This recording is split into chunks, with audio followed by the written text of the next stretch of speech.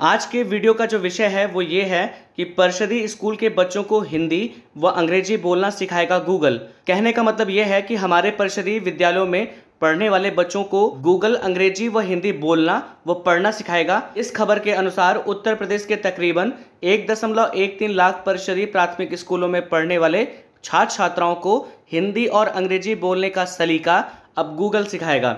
Mission प्रेरणा के तहत बच्चों के हिंदी और अंग्रेज़ी भाषा के पठन कौशल को सुधारने के लिए बेसिक शिक्षा विभाग ने गूगल से समझौता किया है।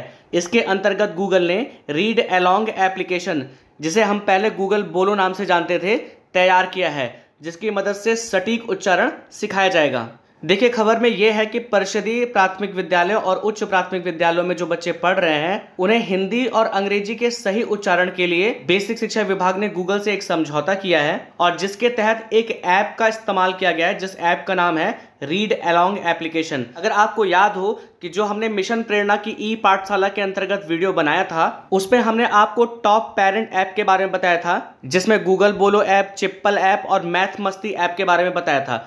तो जो उस समय गूगल बोलो ऐप था, अब उसी ऐप का नाम रीड अलोंग एप्लीकेशन हो गया है। इसमें थोड़ा बहुत चेंजेस किए हैं, लेकिन मोटा मोटी ये बिल्कुल गूगल बोलो ऐप की तरह है। इस खबर में आगे बताया गया है कि मिशन प्रेरणा को प्रभावी तरीके से लागू करने के लिए एसआरजी जिसे आप स्टेट रिसोर्स ग्रुप के नाम से जानते हैं के आर जिसे आप की रिसोर्स पर्सन के रूप में जानते हैं, और एआरपी जिसे आप एकेडमिक रिसोर्स पर्सन के नाम से जानते हैं 20 जुलाई से प्रदेश भर में तकरीबन पाँच दशमलव पाँच शून्य लाख शिक्षकों, शिक्षा मित्रों एवं अनुदेशकों को ऑनलाइन प्रशिक्षण दे रहे हैं। ये प्रशिक्षण इस समय चल भी रहा है। इस ट्रेनिंग के तहत शिक्षकों, शिक्षा मित्रों और अनुदेशकों को लक्ष्य दिया गया है कि वह अपने स्कूल के सभी अभिभावक, जिनके पास स्मार्टफ़ोन है, के मोबाइल पर गूगल अलोंग ऐप को इंस्टॉल करवाते हुए 30 जुलाई तक इस ऐप को इस्तेमाल करने की ट्रेनिंग प्रदान करें।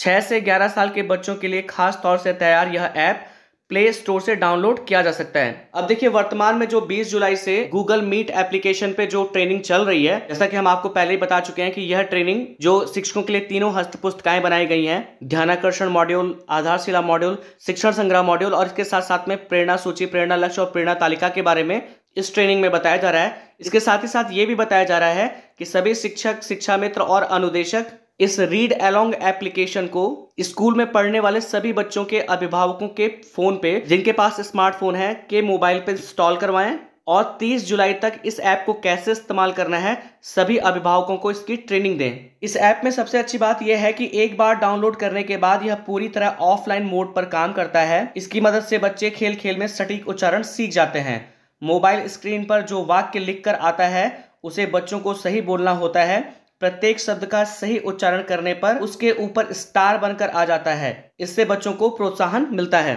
देखिए, एक बार इस ऐप को डाउनलोड करने के लिए आपको मोबाइल डेटा की आवश्यकता है। उसके बाद इस ऐप को इस्तेमाल करने के लिए किसी भी इंटरनेट कनेक्टिविटी या किसी भी तरह के डेटा की आवश्यकता नहीं है। इस ऐप में जो पैराग्राफ लिखे होते हैं, बच्चे उन पे उंगली लगाकर उसका सही उच्चारण सीख सकते हैं। और खेल खेल में इंग्लिश और हिंदी पढ़ना सीख सकते हैं। अगर बच्चा ऐप पर लिखे हुए शब्दों को सही पढ़ता है तो उसे स्टार मिलता है और जिससे बच्चों को आगे और अच्छा पढ़ने का प्रोत्साहन मिलता है। देखिए, प्ले स्टोर से आप इस ऐप को इंस्टॉल कर सकते हैं। शुरुआती कक्षाओं में हिंदी और अंग्रेज़ी सीखने और बोलने के लिए बहुत अच्छा ऐप है। इस ऐप को कैसे इस्तेमाल किया जाए, ये बहुत आसान है। जैसे आप इसे अपने मोबाइल में इंस्टॉल कर लेंगे और जब आप यहाँ ओपन पे क्लिक करेंगे तो ये ऐप आपको खुद इंस्ट्रक्शन देगा कि आपको करना क्या है। इस ऐप का इस्तेमाल बहुत आसान है। इसलिए ऐप को इस्तेमाल कैसे किया जाए, ये बताने की आवश्यकता नहीं है। आप स्वतः ही सब जान जाएँगे। मैं आशा करता हूँ कि इस वीडियो के माध्यम से जो आपको जानकारी दी गई, वो आपको अच्छी लगी होगी। अगर आपको मेरा वीडियो पसंद आया है तो आपसे निवेदन है कि इस वीडियो को लाइक शेयर कमेंट ज़रूर करें। चैनल को सब्सक्राइब करें ताकि विभाग से संबंधित और जो इम्पोर्टेंट न्यूज़ है वो आपको टाइमली मिलती रहे। वीडियो देखने के लिए आप सभी लोगों का बहुत बहुत धन्यवाद।